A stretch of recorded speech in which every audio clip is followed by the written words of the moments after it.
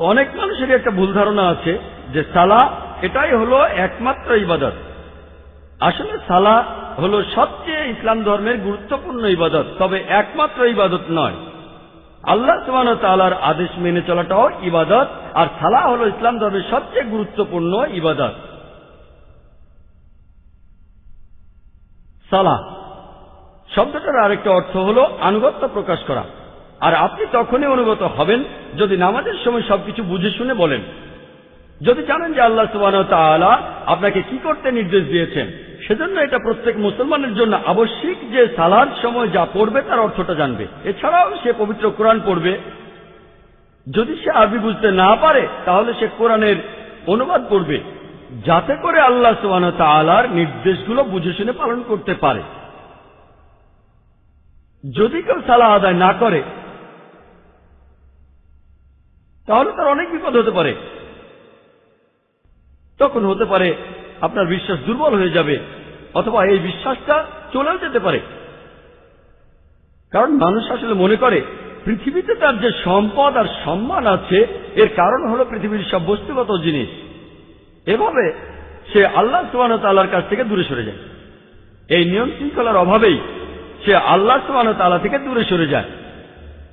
পৃথিবীর বিভিন্ন জিনিসের মোহ থাকলে বস্তুগত জিনিসের তাহলে সম্ভাবনা থাকে যে সে অন্যায় কাজ করবে। এভাবে সে সিরাত আল মুস্তাকিম থেকে দূরে সরে যাবে, সরল পথ থেকে। মনের ভেতরে তখন শান্তিও থাকবে না। আপনার কাছে যে পরিমাণ সম্পত্তি থাকুক না কেন, এই সম্পদ আপনাকে শান্তি দিতে পারবে না। আর মানুষজন যে কারণে সালা আদায় করে না, সেটা হলো তাদের জ্ঞানের অভাব। পবিত্র কোরআন বলছে, সুরা ইমরানের একশো পঁচাশি নম্বর আয়াতে উল্লেখ করা হয়েছে, কুল্লু নাফসিন জায়কাতুল মাউত, প্রত্যেক জীবকে মৃত্যু স্বাদ গ্রহণ করতে হবে। এবং কেয়ামতের দিন তোমাদেরকে তোমাদের কর্মফল পূর্ণ মাত্রায় দেওয়া হবে। এবং যাকে দোজখের আগুন থেকে দূরে রাখা হবে, আর যাকে জান্নাতে দাখিল করা হবে সেই হবে এই দুনিয়ার উদ্দেশ্য পূরণে সফল কাম। কারণ নিশ্চয়ই এই পার্থিব জীবন একটা ছলনাময় ভোগ ব্যতীত কিছুই নয়। সালা আদায় করলে অনেক উপকৃত হবেন। সালা একটা জীবন দর্শন। সালা আপনার আত্মিক অবস্থানকে উন্নত করবে, পাশাপাশি শারীরিকভাবে উপকৃত হবেন। সালা আপনার বিশ্বাসকে বাড়িয়ে দেয়, আপনার বিশ্বাসকে শক্তিশালী করে। পবিত্র প্রণেসুরা আনফালের দুই নম্বর আয়াতে উল্লেখ করা হয়েছে যে, সত্যিকারের বিশ্বাসী তারাই যাদের হৃদয় কম্পিত হয়, যখন আল্লাহকে স্মরণ করা হয়, আর যখন আল্লাহর আয়াত পাঠ করা হয়, এটা তাদের ইমান বৃদ্ধি করে এবং তারা তাদের প্রতিপালকের উপরে নির্ভর করে। পবিত্র কোরআন বলছে, সুরা ফাতিহার চার থেকে সাত নম্বর আয়াতে উল্লেখ করা হয়েছে কানা কানা আমরা তোমারই ইবাদত করি, তোমারই সাহায্য প্রার্থনা করি। এই দিনা সিরাত আল মুস্তাকিম সিরাত আল্লাহ জিনা আনামতা আলাইহিম গাইল মাকদুবা আলাইহিম ওলাদ্দলিন আমাদের সরল পথ দেখাও। তাদের পথ যাদের তুমি অনুগ্রহ দান করেছ। তাদের পথ নয় যারা ক্রোধ নিপতিত, যারা পথভ্রষ্ট। এতে আপনার জীবনের শৃঙ্খলা বাড়বে।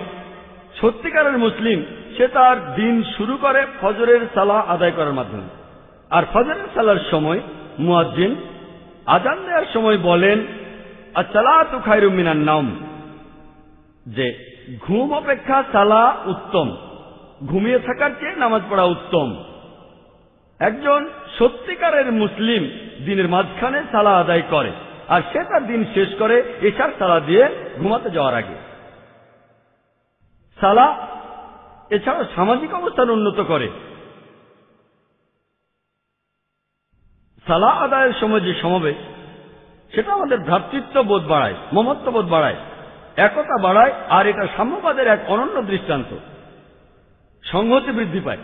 সালা আদায় করতে গিয়ে সবাই একত্রিত হয়, আর তাদের মধ্যে ভালোবাসার বন্ধন জোরদার হয়। পবিত্র কোরআনে সুরা হুজুরাতের তেরো নম্বর আয়াতে উল্লেখ করা হয়েছে يا أيها الناس إنا خلقناكم من ذكر وأنثى وجعلناكم شعوبا وقبائل لتعارفوا إن أكرمكم عند الله يتقاكم إن الله عليم خبير হে মানুষ জাতি আমি তোমাদের সৃষ্টি করেছি একজন পুরুষ ও একজন নারী হইতে পরে তোমাদের বিভক্ত করেছি বিভিন্ন জাতি ও গোত্রে যাতে তোমরা অপরের সাথে পরিচিত হতে পারো এজন্য নয় যে তোমরা পরস্পরকে ঘৃণা করবে আর তোমাদের মধ্যে আল্লাহর কাছে সেই ব্যক্তি অধিক মর্যাদা সম্পন্ন, যে তোমাদের মধ্যে অধিক মুত্তাকি, অধিক ন্যায়পরায়ণ। নিশ্চয়ই আল্লাহ সকল কিছু জানেন, সমস্ত খবর রাখেন। আল্লাহ সুবান তাআলা আমাদের যেটাতে বিচার করবেন, সেটা গোত্র নয়, বর্ণ নয়, ধর্মবিশ্বাস নয়, সম্পদ নয়, লিঙ্গ নয়, সেটা হলো তাকোয়া অর্থাৎ ন্যায়পরায়ণতা, আল্লাহকে মেনে চলা এবং ধার্মিকতা। পবিত্র কর্ণেশ্বরা হুমাজার এক নম্বর আয়াতে উল্লেখ করা হয়েছে, ওয়াইল উল্লেখ করলে হুমাজাতের লুমাজা। দুর্ভোগ তাদের যারা সামনে ও পেছনে মানুষের নিন্দা করে থাকে। সালা আমাদেরকে বিরত রাখে মানুষের নিন্দা করা থেকে। পবিত্র কোরআনে সূরা হুজুরাতের এগারো নম্বর ও বারো নম্বর আয়াতে উল্লেখ করা আছে, ইয়া আইয়ুহাল্লাযিনা আমানু, হে মুমিনগণ, তোমাদের মধ্যে কোনো পুরুষ যেন অপর কোনো পুরুষকে উপহাস না করে, কেননা যাকে উপহাস করা হয়, সে উপহাসকারী অপেক্ষা উত্তম হতে পারে। কোন নারী অপর নারীকে যেন উপহাস না করে, কেননা যাকে উপহাস করা হয়, সে উপহাসকারী অপেক্ষা উত্তম হতে পারে। একে অপরের প্রতি তোমরা দোষারোপ করো না, এবং তোমরা একে অপরকে মন্দ নামে ডেকো না। ইয়া আইয়ুহাল্লাযিনা আমানু, হে মুমিনগণ, তোমরা অনুমান হতে দূরে থাকো, কারণ অনুমান কোন কোন ক্ষেত্রে পাপ। একে অপরের গোপনীয় বিষয় সন্ধান করো না, এবং একে অপরের পশ্চাতে নিন্দা করো না। পেছন থেকে নিন্দা করো না। তোমাদের মধ্যে কি কেউ তার মৃত ভাইয়ের গোস্ত খেতে চাইবে? পবিত্রকরণ বলছে, যদি পেছন থেকে নিন্দা করেন, তাহলে আপনি যেন আপনার মৃত ভাইয়ের গোস্ত খাচ্ছেন। কারণ, মৃত ভাইয়ের গোস্ত খাওয়া হলো দ্বিগুণ অপরাধ। খাদ্য হিসেবে মানুষের গোস্ত খাওয়া একটা অপরাধ। এমনকি ক্যানিবালরা, যারা মানুষের গোস্ত খায়, তারাও কখনো তাদের মৃত ভাইয়ের গোস্ত খায় না। কোরআন বলছে, যদি পেছন থেকে নিন্দা করেন, তাহলে দ্বিগুণ অপরাধ করছেন। অপরাধটা এমন যেন আপনি মৃত ভাইয়ের গোস্ত খাচ্ছেন। কোনো প্রমাণ ছাড়াই কারও ব্যাপারে নিন্দা করো না, এটা পাপ। আর কারও পেছন থেকে নিন্দা করা হলো দ্বিগুণ পাপ দ্বিগুণ পাপ। আর আল্লাহ তাআলা এখানে তিনি নিজেই উত্তর দিয়েছেন, তোমরা তাকে ঘৃণ্যই মনে করো। সালা, এটা আমাদের ব্যবসা ক্ষেত্র এবং দৈনন্দিন কাজের মধ্যে সত্যবাদিতা এবং সততাকে বাড়ায়। আমি আগে বলেছিলাম, পবিত্র কোরআনে সুরা আনকাবুতের পঁয়তাল্লিশ নম্বর আয়াতে উল্লেখ করা হয়েছে, উতলু মা উহিয়া এলাইকা মিনাল কিতাবি ও আকিম সালাতা। ইন্না সালাতা তানহা আনিফাশা ইবার মুঙ্কার যে তুমি আবৃত্তি করো সেই কিতাব হতে যা তোমার প্রতি প্রত্যাদেশ করা হয় এবং সালাদ কায়েম করো। কারণ নিশ্চয়ই সালাদ তোমাকে অশ্লীল ও মন্দ কাজ হতে বিরত রাখে। পবিত্রকরণ বলছে, সুরা ইসরার একাশি নম্বর আয়াতে উল্লেখ করা হয়েছে, ওয়াকুল জাল হক ওয়াকাল বাতিল। ইন্দালা বাতিল কানা ধহুকা বলো, সত্য এবার উপস্থিত হয়েছে এবং মিথ্যা বিলুপ্ত হয়েছে। কারণ নিশ্চয়ই মিথ্যা তার প্রকৃতিগত কারণেই ধ্বংস হয়ে যাবে। সালা আমাদের সত্যবাদী হতে শেখায়। একই ধরনের কথা বলা হয়েছে, সুরা বাকারায় বিয়াল্লিশ ও তেতাল্লিশ নম্বর আয়াতে উল্লেখ করা হয়েছে যে তোমরা সত্যকে মিথ্যার সাথে মিশ্রিত করো না এবং জেনে শুনে সত্য গোপন করো না। কোরআন আমাদের সত্যবাদী হতে শেখায় যে সব সময় আমরা সত্যি বলব। পবিত্র কর্ণেশ্বরা বাকারার একশো অষ্টআশি নম্বর আয়াতে উল্লেখ করা হয়েছে যে, তোমরা একে অন্যের সম্পদ অন্যায়ভাবে গ্রাস করো না এবং মানুষের ধন সম্পত্তির কিয়দাংশ জেনে শুনে অন্যায়ভাবে গ্রাস করার উদ্দেশ্যে সেটা বিচারকের নিকট পেশ করো না। পবিত্রকরণ বলছে, ঘুষ দেয়া বা নেয়া নিষিদ্ধ। আপনারা ঘুষ দেবেন না। পবিত্র কোরআন আমাদের দেখিয়ে দেয় কীভাবে সৎ জীবনযাপন করতে হবে। পবিত্র কোরআন মানুষের জীবনে শান্তি এনে দেয়। পবিত্র কোরআনে সুরা হ্রদের আঠাশ নম্বর আয়াতে উল্লেখ করা হয়েছে, নিশ্চয়ই যখন আল্লাহকে স্মরণ করা হয়, হৃদয় তখন শান্তি খুঁজে পায় এবং প্রশান্ত হয়। যখন আল্লাহকে স্মরণ করবেন, যখন সালা আদায় করবেন, আপনি তখন খুবই শান্তিতে থাকবেন, আপনার হৃদয় প্রশান্ত হবে। সালাহ হল আল্লাহ তালার সাথে যোগাযোগের সবচেয়ে শ্রেষ্ঠ উপায়। পবিত্রকরণে সুরা বাকার একশো তেপন্ন নম্বর আয়াতে উল্লেখ করা হয়েছে, ইয়া আইয়ুহাল্লাযীনা আমানু তাইনু বিসাবরি সালাহ। হে মুমিনগণ, ধৈর্য ও সালাতের মাধ্যমে তোমরা আল্লাহর সাহায্য প্রার্থনা করো। আর নিশ্চয়ই আল্লাহ ধৈর্যশীলদের সাথে আছেন। আল্লাহ বলছেন, ইন্নাল্লাহ আর নিশ্চয়ই আল্লাহ তাআলা ধৈর্যশীলদের সাথে আছেন। সামাজিক উপকারিতার পাশাপাশি, আত্মিক উন্নতির পাশাপাশি, অন্যান্য উপকারের পাশাপাশি সালা থেকে আমরা পাই বিভিন্ন শারীরিক উপকারিতা। সালাতের সময় যখন রুকুতে যায়, যখন মাথা নোয়ায়, শরীরের উপরের অংশে তখন অতিরিক্ত রক্ত প্রবাহিত হয়। মেরুদণ্ড তখন হয়ে যায় নমনীয়। মেরুদণ্ডের বিভিন্ন নাদ শক্তিশালী হয়। মেরুদণ্ড বা পিঠের ব্যথা দূর হয়ে যায়। এতে করে দূর হয় পেট ফাঁপা জাতীয় সমস্যাগুলো।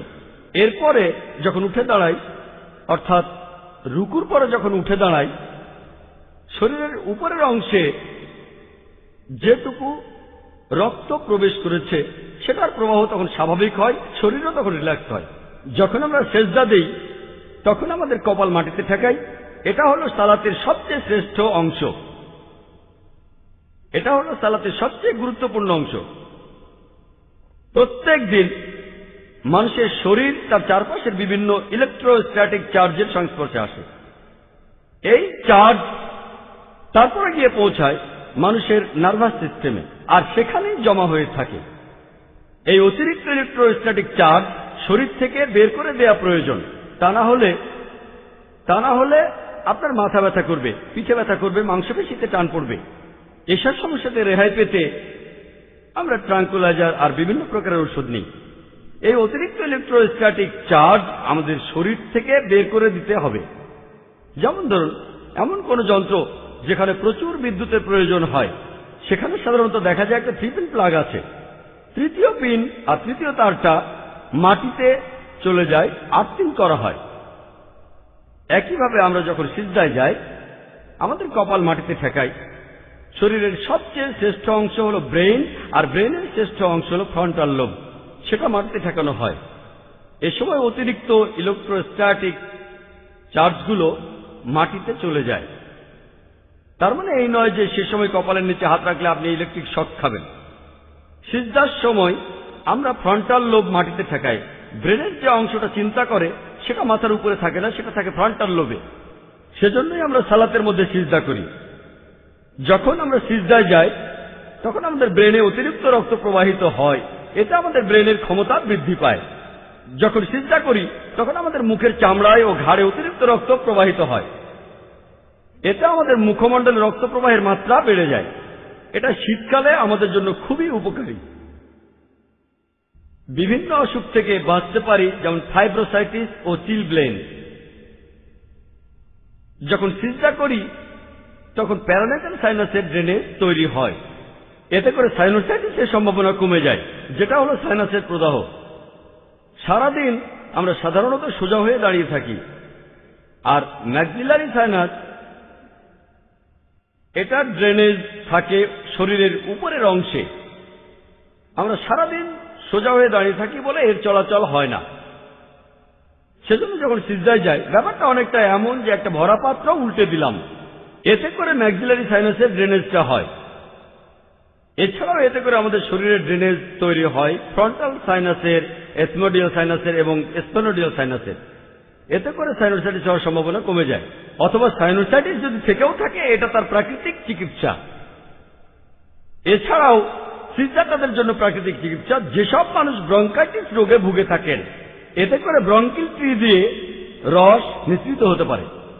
সিজদার কারণে ব্রঙ্কিল ট্রিতে রস জমা হয়ে থাকতে পারে না। এতে করে বিভিন্ন পালমোনারি অসুখের চিকিৎসা করা যায়, যেখানে আমাদের শরীরে রস জমা হয়।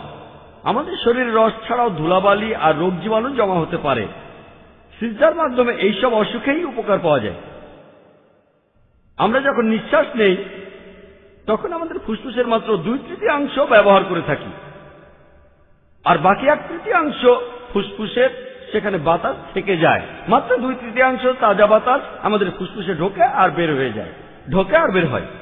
বাকি এক তৃতীয়াংশ বাতাসকে বলে রেসিডুয়াল এয়ার আমরা যখন চেষ্টা করি, তখন আমাদের তলপেট চাপ দেয় আমাদের ডায়াফ্রামে আর এই ডায়াফ্রাম চাপ দেয় আমাদের ফুসফুসের নিচের অংশে। আর এতে ফুসফুসের সেই রেসিডুয়াল এয়ার বের হয়ে যায়। তাহলে এই বাতাস বের হয়ে গেলে আরও তাজা বাতাস ফুসফুসে ঢোকে। এতে করে আমাদের ফুসফুস স্বাস্থ্যবান হয়। যখন চিন্তা করি তখন যেহেতু অভিকর্ষ বল কমে যায়, তলপেটের অঙ্গ প্রত্যঙ্গে রক্ত চলাচল বৃদ্ধি পায়। তলপেটের বিভিন্ন অঙ্গ প্রত্যঙ্গে ধমনির ভেতরে রক্ত চলাচল, সেটা বেড়ে যায়। সিজদা এবং রুকু, এগুলোর মাধ্যমে হার্নিয়া, ফিমোরাল ইত্যাদি অসুখের নিরাময় হয়ে থাকে। এছাড়াও সিদ্ধায় অনেক রোগের নিরাময় হয়, তার মধ্যে একটা অসুখ হল হেমোরয়েড, যেটাকে সাধারণ মানুষ বলে থাকে পাইল এছাড়া সিজদার মাধ্যমে জরায়ুর স্থানচ্যুতিকে রোধ করা যায়। যখন সিজদা করি, তখন আমাদের শরীরের ভর থাকে হাঁটুর উপরে, আমাদের পা থাকে নমনীয়। এছাড়া আমাদের পায়ের সোলিয়াস ও গ্যাস্ট্রোনিমিয়াস মাসল, এই মাসলগুলোকে বলা হয় পেরিফেরাল হার্ট। কারণ এই মাসলগুলোতে অনেক ধমনী আছে। আর এই ধমনীগুলো দিয়ে শরীরের নিচের অংশে রক্ত প্রবাহিত হয়ে থাকে। এতে করে শরীরের নিচের অংশ রিল্যাক্স হয়। যখন সিজদায় যায়, আমাদের হাঁটু তখন মাটি স্পর্শ করে, হাত এবং কপালও মাটি স্পর্শ করে। এই পদ্ধতিতে কার্ভাইকাল স্পাইনের বিভিন্ন অসুখের নিরাময় হয়। কারণ এই সিজদার মাধ্যমে ইন্টারভার্টিব্রাল জয়েন্টের উপকার হয়। সিজদার মাধ্যমে বিভিন্ন হৃদরোগের উপকার পাওয়া যায়। যখন আমরা সিজদা থেকে উঠি যখন সিজদা থেকে উঠি আমরা হাঁটু গেড়ে বসি, শরীরের উপরের অংশে যে রক্ত চলে গিয়েছিল, সেটা স্বাভাবিক হয় আর শরীরও রিল্যাক্স হয়।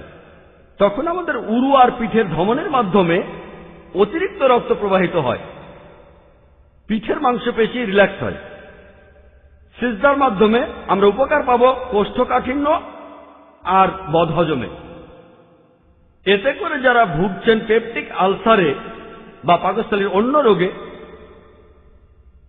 তারাও উপকার পাবেন যখন আমরা বসা থেকে উঠে দাঁড়াই। যখন আমরা সিজদা থেকে উঠে দাঁড়াই, আমাদের শরীরের ভর থাকে তখন আমাদের পায়ের বলের উপরে। এতে করে আমাদের পিঠের মাসাল, উরুর মাসাল, হাঁটুর মাসাল আর পায়ের মাসাল শক্ত হয়।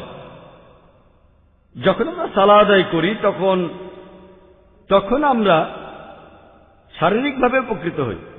তবে মুসলিমরা শুধু শারীরিক উপকারিতার জন্য সালা আদায় করে থাকি না। এটা হলো বাড়তি উপকার। আমরা সালা আদায় করি। আল্লাহ তালার প্রশংসা করার জন্য, তাকে ধন্যবাদ দিতে। আমরা সালা আদায় করি নির্দেশনার জন্য, ন্যায় নিষ্ঠার পথে প্রোগ্রাম হওয়ার জন্য। সালাতের এইসব বাড়তি উপকারিতা এমন লোককে আকৃষ্ট করবে যা বিশ্বাস কম অথবা আকৃষ্ট করবে একজন অমুসলিমকে। কিন্তু মুসলিমরা আমাদের প্রধান কাজ হলো আল্লাহ তালাকে সন্তুষ্ট করা, কারণ এটাই আল্লাহ সুবান তালার নির্দেশ। এটাই আমাদের বিরিয়ানি। কিছু মানুষ আছে, যারা হয়তো বলবে যে আমরা কিছু মুসলিমকে দেখি যারা প্রত্যেকদিন পাঁচ ওয়াক্ত নামাজ পড়ে, কিন্তু তারপরও তারা ঠকায়, তারা সৎ না, তারা ন্যায়পরায়ণ লোক না। তাহলে আপনি কীভাবে বললেন যে সালা হল ন্যায়পরায়ণতার প্রোগ্রামিং? আমরা জানি কিছু মুসলিম পাঁচ ওয়াক্ত নামাজ পড়েন প্রত্যেক দিন। তারপরেও তারা ন্যায়নিষ্ঠ নন। এই প্রশ্নের উত্তরটা অনুষ্ঠানের শুরুতে আমাদের কারি দিয়েছিলেন।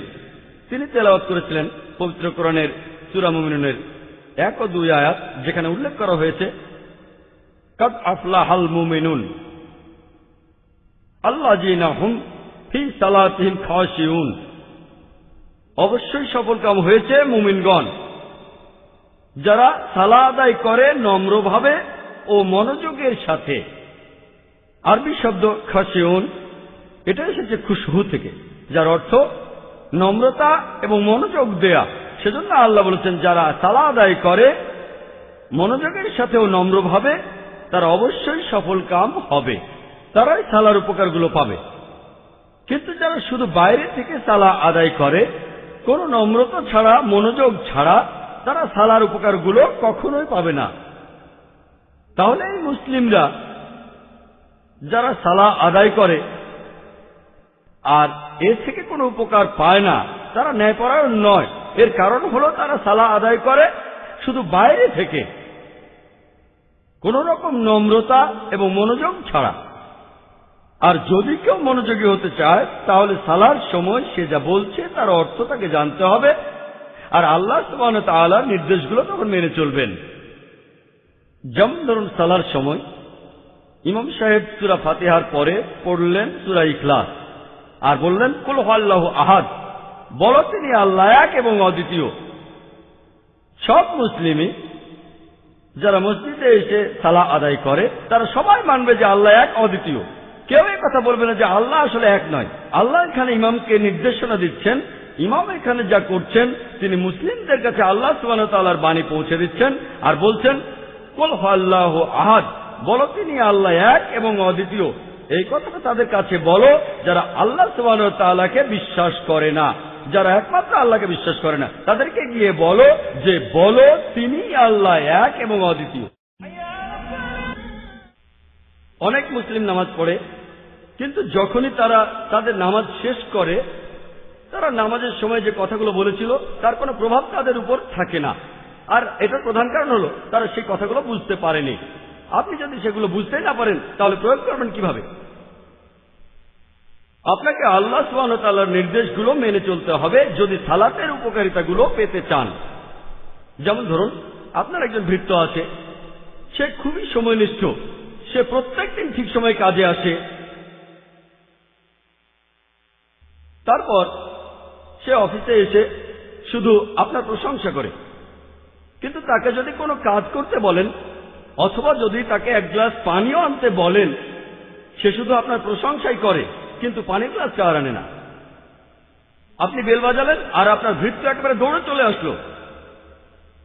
বলুন প্রভু আপনি তাকে বললেন, এটা খুবই গুরুত্বপূর্ণ একটা চিঠি, এটা আমার ক্লায়েন্টের কাছে পৌঁছে দাও, খুবই জরুরি। ভৃত্যটা অফিসে বসে থাকল আর বলে যেতে লাগল, আমি আমার প্রভুর অনুগত। আমার প্রভু মহান। আপনি কি করবেন? তাকে কি প্রমোশন দেবেন? তাকে কি বোনাস দেবেন? তাকে অফিস থেকে বের করে দেবেন?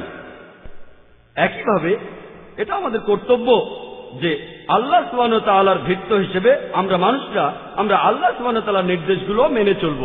শুধুমাত্র আল্লাহর প্রশংসা করা, সেটা যথেষ্ট নয়। যেমন ধরুন, অসুস্থ লোক একজন ডাক্তারের কাছে গেল, আর ডাক্তার তাকে একটা প্রেসক্রিপশন লিখে দিল। ডাক্তার সেখানে লিখলো যে, আপনি প্রত্যেক দিন তিনবার করে এই ঔষধগুলো খাবেন। সেই রোগী প্রেসক্রিপশনটা নিয়ে গেল, আর প্রত্যেক দিন অত্যন্ত নিষ্ঠার সাথে সে প্রত্যেক দিন তিনবার প্রেসক্রিপশনটা পড়ে নিল। কিন্তু প্রেসক্রিপশনের নির্দেশগুলোকে কাজে পরিণত করল না। সে ঔষধগুলো খেলো না। আপনার কি ধারণা সে সুস্থ হয়ে উঠবে? তাহলে আপনি যদি সালার উপকারগুলো পেতে চান, আপনি সালার সময় যে কথাগুলো বলেছেন, সেগুলো মেনে চলবেন। এই কারণেই কিছু মানুষ সালা আদায় করে, কিন্তু সালার উপকারিতাগুলো সে পায় না। আর আল্লাহ তাআলা এইসব লোকদের বর্ণনা দিয়েছেন পবিত্র কোরআনে সুরা মাউনের চার থেকে সাত নম্বর আয়াতে সেখানে বলা হয়েছে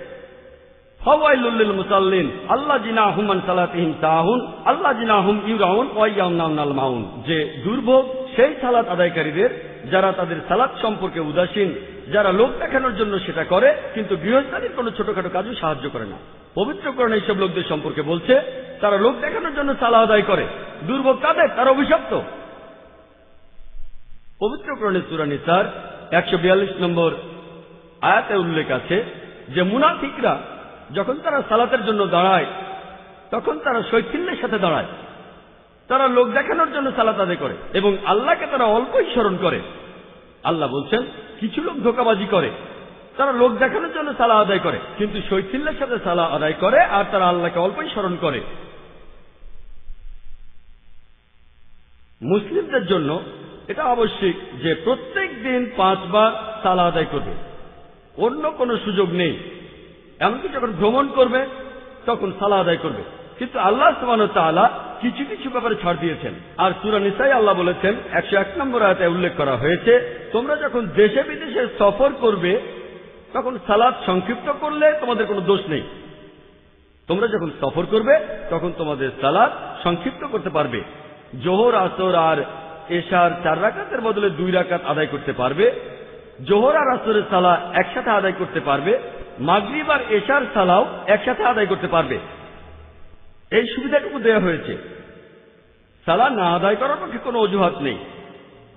এমনকি যখন যুদ্ধক্ষেত্রে থাকবেন, তখনও সালা আদায় করবেন। আল্লাহ সুবাহ তাআলা আমাদের বলেছেন, কীভাবে যুদ্ধক্ষেত্রে সালা আদায় করতে হবে? পবিত্র করণে সুরানিসের একশো দুই নম্বর আয়াতে উল্লেখ করা হয়েছে যে, হে রাসুল, তুমি যখন যুদ্ধক্ষেত্রে সালা আদায় করবে তোমাদের মধ্যে একটা দল যেন তোমার সাথে সালাতে দাঁড়ায় এবং সশস্ত্র থাকে। আর তাদের সালা শেষ হলে তারা যেন পিছনে অবস্থান করে এবং অপর দলকে সালা আদায়ের সুযোগ দেয়।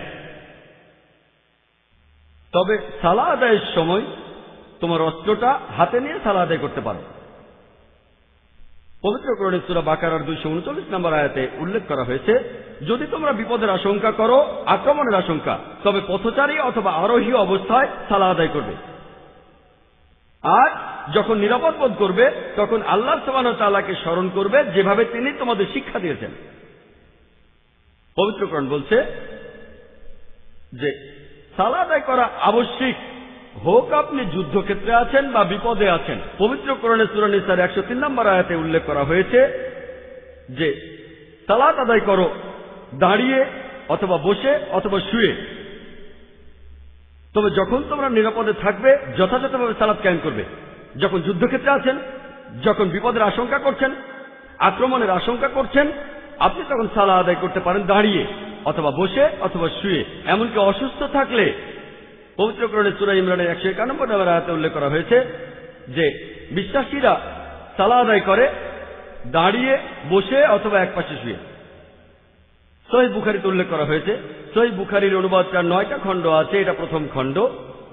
আর সহি বুখারিতে উল্লেখ আছে, দ্বিতীয় খণ্ডে বুক অব তাকসিরে, উনিশ নম্বর অধ্যায়ের দুইশো আঠারো নম্বর হাদিসে যে একজন লোক নবীজির কাছে গিয়ে বলল, সে হেমোরয়েডে ভুগছে, পাইলসে।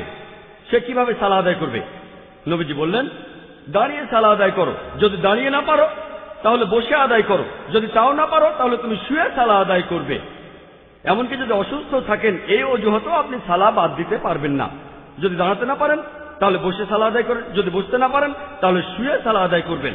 আপনি সালা আদায় করতে পারেন ইশারার মাধ্যমে, আকার ইঙ্গিতের মাধ্যমে। কিন্তু সালা আদায় করা এটা আবশ্যিক। সালা বাদ দেওয়ার জন্য কোনো অজুহাত দেখানো চলবে না। পবিত্র করণে সুরা মাইদার পঞ্চান্ন নম্বর আয়াতে উল্লেখ করা হয়েছে যে, তোমাদের সত্যিকারের বন্ধু তারা হলেন আল্লাহ, রাসুল এবং মুমিনগণ। যারা সালাদ কায়েম করে, যারা নিয়মিত জাকাত দেয় এবং যারা বিনম্র হয়ে থাকে। আবু দাউদে উল্লেখ করা হয়েছে, এটা হলো আবু দাউদ। আবু দাউদে আপনারা পাবেন তিনটি খণ্ড, আর আবু দাউদে উল্লেখ করা হয়েছে, এক নম্বর খণ্ড, বুক অব সালা, তিনশো নম্বর অধ্যায়ের আটশো তেষট্টি নম্বর হাদিসে নবীজি বলেছেন যে, রোজ কিয়ামতের দিন প্রত্যেক মানুষকে সবার আগে যে প্রশ্নটা আল্লাহ সুবান করবেন, সে প্রথম প্রশ্নটা হলো সালা আল্লাহ সুবান সবার প্রথমে আপনাকে যে বিষয়ে প্রশ্ন করবেন, সেই প্রশ্নটা হবে সালা নিয়ে। আর প্রিয় নবীজি বলেছেন, এটার উল্লেখ আছে সহি মুসলিমে, এটা হলো সহি মুসলিম।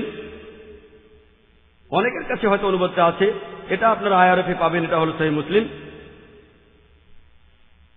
আর সহি মুসলিমে উল্লেখ করা হয়েছে, এক নম্বর খণ্ডে সহি মুসলিমের মোট চারটি খণ্ড আছে, এটা হলো প্রথম খণ্ড। প্রথম খণ্ডে উল্লেখ আছে আছে বুক অফ ফেইটে ছত্রিশ নম্বর অধ্যায়ের একশো ছেচল্লিশ নম্বর হাদিসে যে একজন মানুষ, যে মানুষ বিশ্বাসী, তার সাথে একজন মুসলিক বা বহুশ্বরবাদী ও কাফের বা অবিশ্বাসীর পার্থক্যটা হলো এরা সালাকে অবহেলা করে। আবুদাউদে উল্লেখ করা আছে, তিন নম্বর খণ্ডে, কিতাব অব সুন্না অধ্যায় নম্বর এক হাজার ছয়শো একানব্বই, হাদিস নম্বর চার হাজার ছয়শো একষট্টিতে বলা হয়েছে যে, একজন ভৃত্য এবং একজন কাফির বা অবিশ্বাসীর মধ্যে পার্থক্য হল পরের জন সালা আদায় থেকে বিরত থাকে।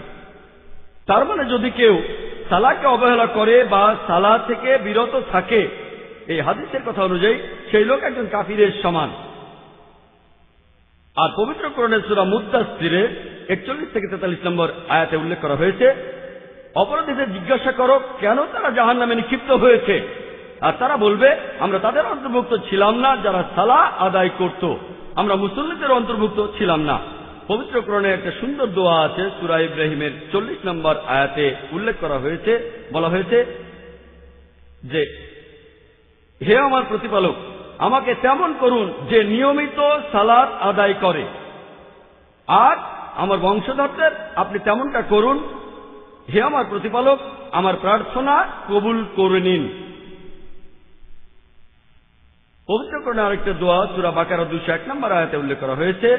এটা খুবই বিখ্যাত একটা দোয়া। সেটা, রাব্বানা আতিনা ফিদ্দুনিয়া হাসানা তাও ওয়া ফিলাখিরাতে হাসানা তাও ওয়া কিনা আজাবান্নার যে হে আমার প্রতিপালক, আমাদের দুনিয়াতে কল্যাণ দাও, আখিরাতে কল্যাণ দাও, এবং আমাদের জাহান নামের আগুনের শাস্তি থেকে রক্ষা করো। আমার লেকচার শেষ করার আগে পবিত্র একটি আয়াতের উদ্ধৃতি দিচ্ছি। সুরা আল আনামের একশো বাষট্টি ও একশো তেষট্টি নম্বর আয়াতে উল্লেখ করা হয়েছে। বলা হয়েছে, কুল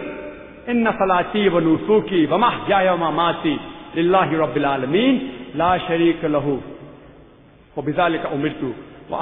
মুসলিমিন। যে, বলো সত্যি আমার সালাদ আল্লাহর কাছে আমার ইবাদত, আমার জীবন ও মরণ সবকিছু আল্লাহ তালার উদ্দেশ্যে, যিনি এই জগৎসমূহের প্রতিপালক। তার কোনো শরিক নেই এবং আমি এর জন্য আদিষ্ট হয়েছি এবং আমি তার কাছে প্রথম আত্মসমর্পণ করছি। আলহামদুলিল্লাহ রবিল্লা আলমিন। জাজাকুমুল্লাহ খায় এখন শুরু হচ্ছে উন্মুক্ত প্রশ্ন উত্তর পর্ব। আমাদের প্রশ্নোত্তর পর্বটাকে এই অল্প সময়ের মধ্যে সফল করে তোলার জন্য যখন আপনারা বিভিন্ন রকম প্রশ্ন করবেন, তখন আমরা কিছু নিয়ম মেনে চলব। আপনাদের প্রশ্নগুলো হবে আজকের বিষয় সালা ন্যায়পরায়ণতার প্রোগ্রামিং এর উপর। বিষয়ের বাইরের কোনো প্রশ্ন করলে সেটার উত্তর দেওয়া হবে না। দয়া করে আপনাদের প্রশ্ন সংক্ষিপ্ত এবং যথাযথ করবেন।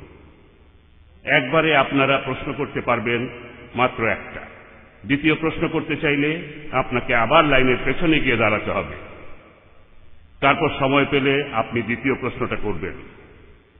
আপনাদের প্রশ্ন করার জন্য অডিটোরিয়ামে তিনটা মাইক দেয়া হয়েছে। আমার ডান ও বাম পাশের দুইটা মাইক পুরুষদের জন্য আর অডিটোরিয়ামের পেছনে মাঝের মাইকটা দিয়ে মহিলারা প্রশ্ন করবেন। যদি কোনো প্রশ্ন করতে চান তাহলে মাইকের সামনে লাইন করে দাঁড়ান। মাইকের পাশে দাঁড়ানো ভলন্টিয়ার যখন বলবেন, তখন আপনি ডক্টর নায়ককে আপনার প্রশ্নটা করবেন। এরপরে স্লিপে লেখা প্রশ্নগুলোর উত্তর দেয়া হবে। এই স্লিপগুলো আপনাদের পাশে দাঁড়ানো ভলন্টিয়ারদের কাছ থেকে পাবেন। দয়া করে প্রশ্ন করার আগে আপনার নাম ও পেশা বলবেন। আপনারা একবারে একটা মাইক থেকে একটা প্রশ্ন করবেন। ঘড়ির কাটার মতো করে। আমাদের প্রথম প্রশ্নটা আসছে মহিলাদের মধ্য থেকে পেছনের মাইকে। আমি ওয়াহিদা খান। আমি এখন বিএড করছি, পাশাপাশি এমএও করছি। আমার প্রশ্নটা হলো, আমরা মুসলমানরা কেন আরবি ভাষায় সানা আদায় করি, যখন আমরা ভাষাটাই বুঝতে পারি না? আমরা যখন সালাহ আদায় করি তখন কি স্থানীয় ভাষা ব্যবহার করা যাবে? বোন, আপনি প্রশ্ন করলেন যে বেশিরভাগ মুসলিমে আরবি ভাষা বুঝতে পারে না। এটা করলে কেমন হয় যদি সালার সময় আমরা প্রত্যেক জায়গায় নিজস্ব ভাষায় সেগুলো করব? সেটা কি ভালো নয়?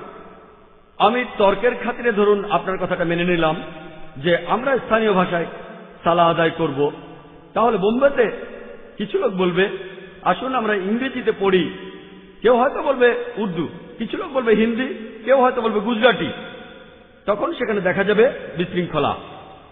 এই সমস্যার সমাধান যদি করি, তাহলে দেখা যাবে কেউ বলছে, চলুন এক নম্বর মসজিদে যাই। সেখানে আমরা ইংরেজিতে সালা আদায় করব। দুই নম্বর মসজিদে উর্দুতে। তিন নম্বর মসজিদে হিন্দিতে। চার নম্বর মসজিদে গুজরাটি, আর এভাবে চলতে থাকবে। তারপরে সেখানে বিভ্রান্তি আর বিশৃঙ্খলা থাকবে। কেউ হয়তো বলবে যে এক নম্বর মসজিদে আমরা ইংরেজিতে সালা আদায় করব। আমরা সেখানে আল্লামা আবদুল্লাহ ইউসুফ আলীর অনুবাদটা পড়ব। আবার কেউ বলল, আমরা পিকচালের অনুবাদটা পড়ব। কেউ হয়তো বলল, মাওলানা আব্দুল মজিদ দারিয়াবাদী। আর কেউ হয়তো বলল, মহসিন খান। আবার আমি শৃঙ্খলা দেখা দেবে। যদি এটাও মেনে নেই যে ঠিক আছে, আমরা একটা অনুবাদ পড়ব, তবুও সেই অনুবাদটা হলো মানুষের হাতের লেখা অনুবাদ। এটা আল্লাহ সুবাহ তালার কথা অথবা নবীজির কথাকে প্রতিস্থাপন করতে পারে না। আর এই অনুবাদে অনেক ভুল থাকতে পারে। আর যদি ভুল থাকে, তখন বলা হবে আল্লাহ সুবাহ তালা ভুল করেছেন। যেমন ধরুন, আপনি যদি দুই নম্বর মসজিদে সালা আদায় করেন, সেখানে সব উর্দুতে পড়া হয়। আর ধরুন, ইমাম সেখানে সুরা লুকমানের চৌত্রিশ নম্বর আয়াত থেকে তেলাওয়াত করলেন। আপনারা যদি কোরআনের অনুবাদ পড়েন, বেশিরভাগ উর্দু অনুবাদে পবিত্র কোরআনের এই আয়াতটার অনুবাদ করা হয়েছে যে আল্লাহ তালা ছাড়া অন্য কেউ জানে না যে মায়ের গর্ভে অবস্থিত সন্তানের লিঙ্গটা কি। যদি আরবিতে কোরআন যদি পড়েন, আরবিতে লিঙ্গ শব্দটা কোরআনের কোথাও নেই। উর্দুতে বেশিরভাগ অনুবাদক অনুবাদ করার সময় এভাবে লিখেছেন, আর যদি কোনো ডাক্তার সালা আদায় করে, সে ভাবতে শুরু করবে যে এটা কোন ধরনের কথা? যে আল্লাহ ছাড়া কেউ জানে না মায়ের গর্ভে অবস্থিত সন্তানের লিঙ্গটা কি হবে। এখনকার দিনে আল্ট্রাসোনোগ্রাফির মাধ্যমে আমরা আগে থেকে জানতে পারি সন্তানের লিঙ্গ কি। সে সন্দেহ করা শুরু করবে। আর সেজন্য আপনি অনুবাদটা পড়তে পারবেন না। কারণ যদি অনুবাদটা পড়েন আর সেখানে কোনো ভুল করেন, তখন বলা হবে আল্লাহ সুবাহ তাআলা ভুল করেছেন যদি সেটা কোরআনের কোনো আয়াত হয়, অথবা বলা হবে নবীজি ভুল করেছেন যদি কোনো হাদিস হয়। আর আপনি অনুবাদের মধ্যে কখনো পুরো অর্থটা পাবেন না। অনুবাদের সাহায্যে আপনি আংশিকভাবে অর্থটা পাবেন, যেন মনোযোগ দিতে পারেন। যেমন ধরুন, আমি প্রায় বিভিন্ন দেশে যাই, আমি যদি ফ্রান্সে যাই, আপনার কথা অনুযায়ী সেখানে সালা আদায় করা হবে ফ্রেঞ্চে। যদি সালা আদায় করা হয় ফ্রেঞ্চ ভাষায়, তাহলে সেখানে আজানটাও দেওয়া হবে ফ্রেঞ্চ ভাষায়। যদি আমি ফ্রান্সে যাই আর মোয়াজ্জিন ফ্রেঞ্চ ভাষায় আজান দেয়, আমি ভাবো কাউকে অভিশাপ দিচ্ছে। আমি যদি মসজিদে যাই আর সেখানে সালা আদায় করি, সেটা হবে ফ্রেঞ্চ ভাষায় আমি তখন ভাববো যে ইমাম, সে কি আল্লাহর প্রশংসা করছে নাকি গল্প বলছে? তাহলে সালা যদি আরবিতে হয়, আর আমি যদি হই একজন ইন্ডিয়ান যে ফ্রেঞ্চ ভাষা বা জার্মান ভাষা জানে না, যদি আমি কখনো জার্মানিতে যাই, অথবা ফ্রান্সে অথবা স্পেনে অথবা পৃথিবীর যে কোনো দেশে আমি যদি সালা আদায় করি, আমি জানব না যে সেখানে কি পড়ানো হচ্ছে, আমি তার অর্থটা বুঝব না। আর আরবিতে আজান, এটা পৃথিবী জুড়ে সকল মুসলিমদের জন্য জাতীয় সংগীত। পুরো পৃথিবীর মুসলিমদের জন্য জাতীয় সংগীত। সে যে কোনো জায়গায় থাকতে পারে। সেই পৃথিবীর যে কোনো জায়গায় থাকতে পারে, সে অবশ্যই এই আজানের অর্থটা বুঝতে পারবে। এটা আমাদের আন্তর্জাতিক সংগীত। সেজন্য বোন, সবচেয়ে ভালো উপদেশটা হলো যে মুসলিমদের পবিত্র কোরআনের ভাষাটা আমাদের শিখতে হবে। যদি আমরা কোরআনের আরবিটা নাও বুঝি তাহলে অন্ততপক্ষে অর্থটা বুঝতে হবে। যে ভাষাটা আপনি সবচেয়ে ভালো বোঝেন সেই ভাষায় পবিত্র কোরআনের অনুবাদটা পড়ুন আর তাহলে আপনি সালা আদায়ের উপকারিতাগুলো পাবেন। আশা করি উত্তরটা পেয়েছেন। এবারের প্রশ্ন ডান দিকের মাইক থেকে। আসসালামু আলাইকুম আমার নাম রফিক একজন ব্যবসায়ী। অনেক অমুসলিম বলে যে ইসলাম যখন মূর্তি পূজার বিরুদ্ধে তখন মুসলমানরা কেন ইবাদতের সময় কাবার সামনে নতজানু হয়? ভাই, আপনি প্রশ্ন করলেন যে অনেক মুসলিমই বলে যে ইসলাম যখন মূর্তি পূজার বিরুদ্ধে, তাহলে কেন আমরা কাবার সামনে মাথা নোয়াই, কাবাকে উপাসনা করি? যার অর্থ আমরাই সবচেয়ে বড় মূর্তি পূজারী। মুসলিমরা আমরা মাথা নোয়াই কাবা শরীফের দিকে। কাবা হলো আমাদের কিবলা, আমাদের দিক নির্দেশনা। আমরা কিন্তু কাবাকে উপাসনা করি না। মাথা নোয়াই কাবা শরীফের দিকে। সালার সময় আমরা আল্লাহ সুবাহ তাআলা ছাড়া অন্য কার উপাসনা করি না। ইসলাম ধর্মে আমরা একতায় বিশ্বাস করি। ধরুন, এখানেই মুসলিমরা সালা আদায় করবে। কেউ হয়তো বলবে, উত্তর দিকে মুখ করে দাঁড়ায় কেউ বলবে, দক্ষিণ দিকে মুখ করে দাঁড়ায় কেউ বলবে, পূর্ব দিকে, কেউ বলবে, পশ্চিমে। আমরা কোন দিকে ফিরে দাঁড়াবো? তাই একতার জন্য এই পৃথিবীর সব মানুষ, পৃথিবীর সব মুসলিম আমাদের আল্লাহ তাআলা নির্দেশ দিয়েছেন যে আমরা কাবার দিকে মুখ করে দাঁড়াবো। যদি আপনি থাকেন পশ্চিমে, আপনি পূর্ব দিকে ফিরে দাঁড়াবেন। যদি থাকেন পূর্ব দিকে, পশ্চিম দিকে ফিরে দাঁড়াবেন। যদি উত্তরে থাকেন, দক্ষিণ দিকে ফিরে দাঁড়াবেন। দক্ষিণে থাকলে উত্তরে ফিরে দাঁড়াবেন। সব মুসলিম একতার জন্য কাবার দিকে মুখ করে দাঁড়ায়। আর মুসলিমরাই ইতিহাসে প্রথম পৃথিবীর ম্যাপ এঁকেছিল। যখন ম্যাপটা আঁকা হয়, সেখানে দক্ষিণ মেরু ছিল উপরে আর উত্তর মেরু ছিল নিচে। আলহামদুলিল্লাহ, কাবা এবং মক্কা শহরটা ছিল কেন্দ্রে। পশ্চিমারা আসলো আর তারা এই ম্যাপটাকে উল্টে দিল। আর এখন আপনারা দেখবেন উত্তর মেরু উপরে, দক্ষিণ মেরু নিচে। তারপরও আলহামদুলিল্লাহ কাবা এখনও কেন্দ্রে রয়েছে। আর আমরা মুসলিমরা হজে যাই, আর তাওয়াফের সময় আমরা কাবার চারপাশে প্রদক্ষিণ করি। আমরা প্রদক্ষিণ করে এটা বোঝাই যে কোনো বৃত্তের, সব বৃত্তেরই একটা কেন্দ্র থাকে। এটার মানে আমরা ইবাদত করি শুধুমাত্র আল্লাহ সুবান তালার আর কারও নয়। এ ব্যাপারে সবচেয়ে ভালো উত্তর দিয়েছিলেন হজরত ওমর রাদে আল্লাহ আনহ। তিনি ছিলেন ইসলামের দ্বিতীয় খলিফা। সই বুখারিতে এর উল্লেখ আছে। দ্বিতীয় খণ্ডে ছাপান্ন নম্বর অধ্যায়ের ছয়শো পঁচাত্তর নম্বর হাদিসে বুক অফ হজে। হজরত ওমর রাজি আল্লাহ তিনি বলেছেন, কালো পাথর সম্পর্কে কাবা শরীফের আসওয়াদ, তিনি বলেছেন, তুমি কেবলমাত্র একটা পাথর আমার ক্ষতি করতে পারবে না, উপকারও করতে পারবে না। আমি যদি না দেখতাম যে আমার নবী তোমাকে স্পর্শ করে চুমু খাচ্ছেন, তাহলে আমি তোমাকে স্পর্শ করে চুমু খেতাম না। এই হাদিসটা এ কথাকে নিশ্চিতভাবে প্রমাণ করে যে মুসলিমরা আমরা কাবাকে উপাসনা করি না। আর আরও একটা উত্তর দিতে পারেন, যে আমাদের নবীজির সময়ে নবীজির সাহাবিগণ কাবা শরীফের উপর উঠে তারপর আজান দিতেন। আমি এখানে প্রশ্ন করব যে কোন মূর্তি পূজারী তার পূজা করা মূর্তির উপর দাঁড়িয়ে উপাসনা করে?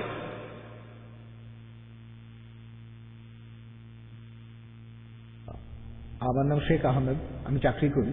আর আপনার কাছে আমার প্রশ্নটা হলো এই যে, আমরা সালা আদায় করতে গিয়ে তাকবির দেওয়ার সময় হাত উপরে তুলি, এটার গুরুত্বটা কি? ভাই, আপনি প্রশ্ন করলেন যে সালাতে তাকবীরের সময় আমরা যে হাত উঠাই, এই কাজটার গুরুত্বটা আসলে কি? হাত হল ক্ষমতা এবং শক্তির একটা প্রতীক। যখন মুসলিমরা আমরা সালার সময় হাত উঠাই, এটা আসলে তিনটা বিষয়কে নির্দেশ করে। প্রথমটা, আমরা আল্লাহর কাছে নিজেকে সমর্পণ করি, আমাদের হাত উপরে তুলে। আমরা এই কথাটাই বোঝাচ্ছি এ কথাই বলতে চাচ্ছি, হে আল্লাহ, আমি নিজেকে সমর্পণ করলাম। যেমন, আমরা কাউকে সারেন্ডার করতে চাইলে বলি হ্যান্ডস আপ যেমন পুলিশ বলবে হ্যান্ডস আপ কোন ডাকাতার উদ্দেশ্যে। তাকে আত্মসমর্পণ করতে বলা হচ্ছে। তাহলে আমরা যখন হাত তুলি, তখন আল্লাহ তালার কাছে আত্মসমর্পণ করছি। আর এছাড়াও, আমরা যখন হাত তুলছি, এটা আরও বোঝায় যে আমরা আল্লাহর মহত্বকে প্রচার করছি। আমাদের কাজ আর মুখের কথা দিয়ে। আল্লাহ আকবার, আল্লাহ সর্বশক্তিমান। আর এটা ছাড়াও আমরা যখন হাত তুলি, তারপর বুকের কাছে এনে ভাঁজ করি, আমরা এখানে একটা সিগন্যাল দিচ্ছি যে আমি আমার পিঠটা দিয়েছি যাবতীয় জাগতিক বিষয়ের দিকে। আর আমি সবকিছু ত্যাগ করেছি যাতে করে আমি আল্লাহ তালার ইবাদতে মনোযোগ দিতে পারি। আশা করি উত্তরটা পেয়েছেন। আমার নাম এরশাদ, কম্পিউটার ইঞ্জিনিয়ারিং এ পড়াশোনা করছি। অমুসলিমদের এই মন্তব্যটার কি উত্তর দেবেন যে সালা আসলে এক ধরনের জিমন্যাস্টিক্স ছাড়া কিছুই নয়? ভাই, আপনি প্রশ্ন করলেন, এটার উত্তর কি দেব যখন কোনো অমুসলিম বলে যে সালা আসলে জিমন্যাস্টিক্স ছাড়া কিছুই নয়? মানে জিমন্যাস্টিক্সের যে উপকার, সালা তো একই উপকার, একই জিনিস, উঠে দাঁড়ানো, মাথা নোয়ানো, উপর হওয়া ইত্যাদি। ভাই, সালা আর জিমন্যাস্টিক্সের মধ্যে পার্থক্যটা আসলে বিশাল। সালাহতে উপকার হবে আমাদের শরীরের, পাশাপাশি আমাদের আত্মার। জিমন্যাস্টিক্সে আমার শরীরের উপকার হতে পারে, কিন্তু আত্মার কোনো উপকার হবে না। সালাতে আপনি মানসিকভাবে একটা শান্তি পাবেন। জিমন্যাস্টিক্সে মানসিক শান্তিটা পাবেন না। সালাতে আপনি নড়াচড়া করবেন ধীরে ধীরে, কোনো ঝাঁকি ছাড়া। জিমন্যাস্টিক্সে নড়াচড়া করতে হবে ঝাঁকি দিয়ে। সালার পর আপনার অলসতা দূর হয়ে যাবে। জিমন্যাস্টিক্সের পর শরীর অবসন্ন হয়ে যাবে। সালার পর আপনার কাজ করতে ইচ্ছে করবে, জিমন্যাস্টিক্সের পর আপনি ক্লান্ত হয়ে যাবেন, কাজ করতে ইচ্ছে করবে না। সালা আদায় করতে পারে সব বয়সের মানুষ, কিন্তু জিমন্যাস্টিক সব বয়সের মানুষ করতে পারে না।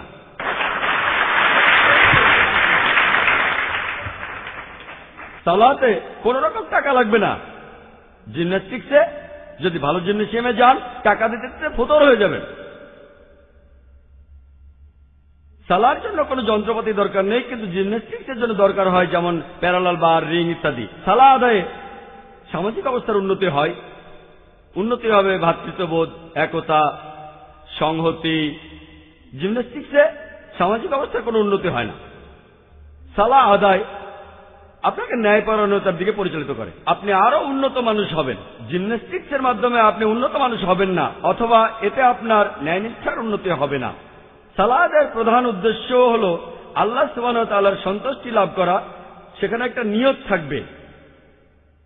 বাহ্যিকভাবে সালা আর জিমন্যাস্টিক্সের অঙ্গভঙ্গির মিল থাকলেও দুটো জিনিস এক নয়, কারণ সালাতে আমরা নিয়ত করি, আমরা সালাতে আল্লাহ সুবান তাল্লাহকে ধন্যবাদ জানাই, সন্তুষ্ট করতে চাই, এটা জিমন্যাস্টিক্সে কখনোই পাবেন না।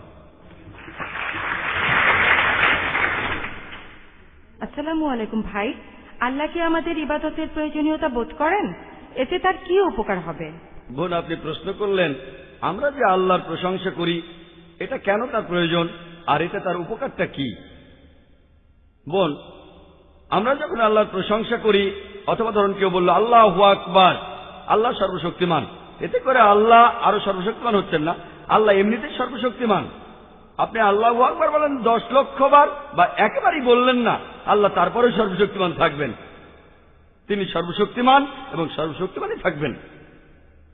আমরা আল্লাহ সুবান তাল্লাহার প্রশংসা তার উপকারের জন্য করি না। এটার উত্তর দেয়া আছে পবিত্র কোরআনে। সুরা ফাতিরের পনেরো নম্বর আয়াতে উল্লেখ করা হয়েছে যে, হে মানুষ জাতি, তোমরাই তো আল্লাহ সুবান মুখাপেক্ষী। তোমাদেরই প্রয়োজন আল্লাহ সুবান আল্লাহ সুবান তিনি সকল প্রকার অভাব থেকে মুক্ত সমস্ত প্রশংসা তারই জন্য।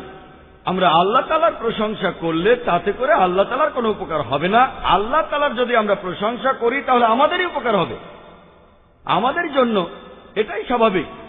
আমরা উপদেশ মেনে চলব সেই লোকের যে বিখ্যাত, বুদ্ধিমান, জনপ্রিয় আর জ্ঞানী। আমরা এমন কোন লোকের উপদেশ মানব না যে লোক অপরিচিত, অচেনা, যে বুদ্ধিমান নয়, জ্ঞানী নয়। সেজন্য আমরা আল্লাহ তালার প্রশংসা করি আমাদের উপকারের জন্য। যে আল্লাহ সুবান তালা হলেন সবচেয়ে বুদ্ধিমান, সবচেয়ে জ্ঞানী, তিনি সর্বশক্তিমান সবার উপরে। আর আমরা যেন তার নির্দেশগুলো সব সময় মেনে চলি। আর এ কারণেই সুরা ফাতিহায় আছে, কোরআনের প্রথম সুরা যেটা সালায় সবসময় পড়া হয়, প্রথম চার অথবা পাঁচ আয়াতে আল্লাহ তালার প্রশংসা করা হয়েছে। বিসমুল্লাহ রহমান রাহিম। পরম করুণাময় আল্লাহর নামে শুরু করছি। আলহামদুলিল্লাহ রবিল আলমিন। সমস্ত প্রশংসা জগৎসমূহের মালিক আল্লাহর। আর রহমানুর রাহিম, যিনি দয়াময়, পরম দয়ালু। মালিক ইয়াউমিদ্দিন, কর্মফল দিবসের মালিক। ইয়া কানা বুধ ইয়া কানা স্তাইন আমরা তোমার ইবাদত করি, তোমারই সাহায্য প্রার্থনা করি। আমরা আল্লাহ সুবাহ প্রশংসা করে নিজেদের বোঝাচ্ছি যে তিনি সর্বশক্তিমান। তিনি হলেন এমন একজন যার কাছে আমরা সব সাহায্য চাই। এরপরে আমরা সুরা ফাতিহার অন্য আয়াতগুলো পড়ি। ইহদিনা সিরাত আল মুস্তাকিম সিরাত আল্লাহ জিনা আনআমতা আলাইহিম গাইল মাগদুবা আলাইহিম অলাদ্দলিন আমাদের সরল পথ দেখাও, তাদের পথ যাদের তুমি অনুগ্রহ দান করেছ। এবং তাদের পথ নয় যারা ক্রোধ নিপতিত এবং তাদের পথ নয় যারা পথভ্রষ্ট।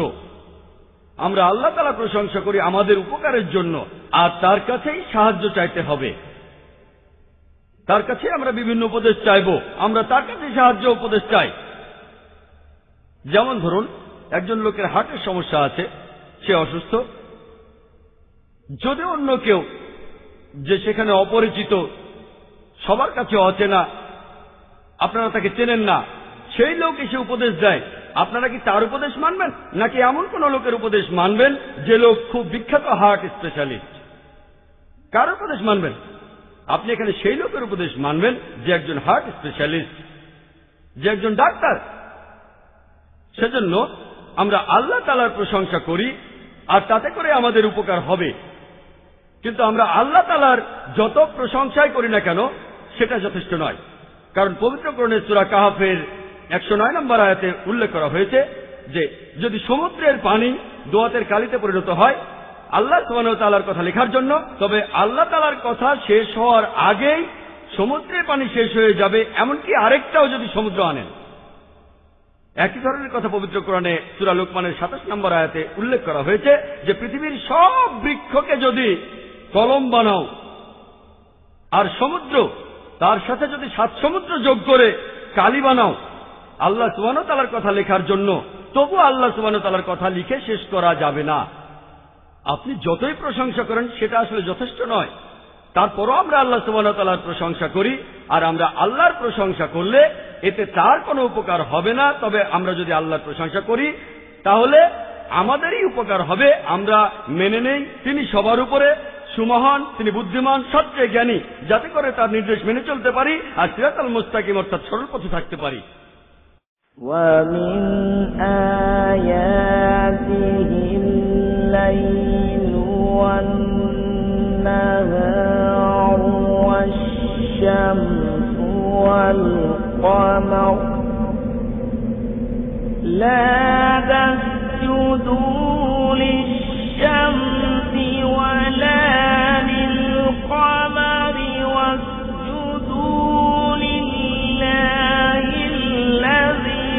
خلقهن إن كنت